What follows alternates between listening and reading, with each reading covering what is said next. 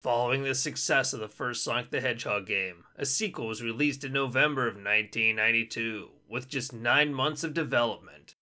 Little did Sega know that in those nine months they would create a timeless classic that is still loved and even thought of as the best Sonic the Hedgehog game ever created by many. And as you know, you can't have a great game without great level design, so now we take a deep dive look at the levels of Sonic the Hedgehog 2.